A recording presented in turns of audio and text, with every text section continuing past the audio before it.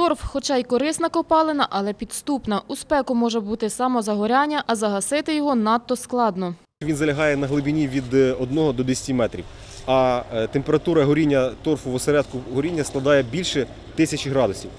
Тому е, саме такий дієвий спосіб гасіння пожежі це е, обкопування осередків горіння та е, проливання великою кількістю води.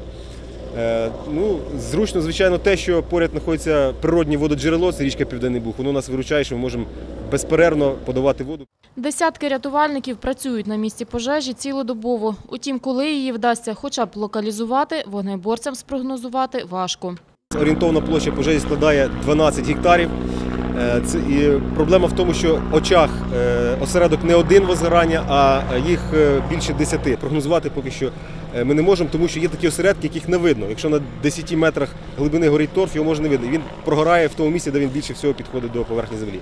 Пожежники більше схиляються до тієї думки, що причина пожежі торфу все-таки природне самозаймання. Однак, кажуть, до великого задимлення, яке спостерігалося в обласному центрі впродовж останньої доби, доклали руку й люди.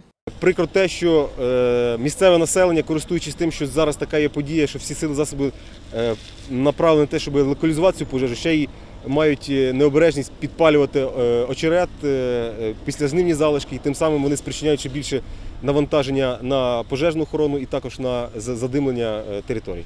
А поки залишається сподіватися, що на допомогу вогнеборцям прийдуть тривалі рясні дощі.